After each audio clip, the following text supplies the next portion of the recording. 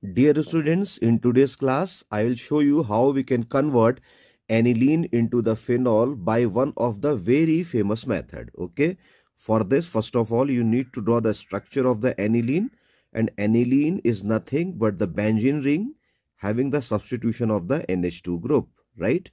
And then you will react this with the nitrous acid and nitrous acid is your the is the combination of sodium nitrite plus HCl okay?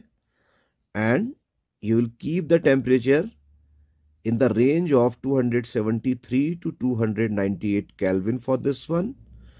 And this will result a very famous intermediate compound which is known as the benzene diazonium chloride which is N2Cl on the benzene ring where N2 is positive Cl is negative. And sodium chloride will be eliminated from here as a byproduct along with the water molecule. And finally what you will do, you will hydrolyze these benzene diazonium chloride with the water and when you will do this, then what will happen?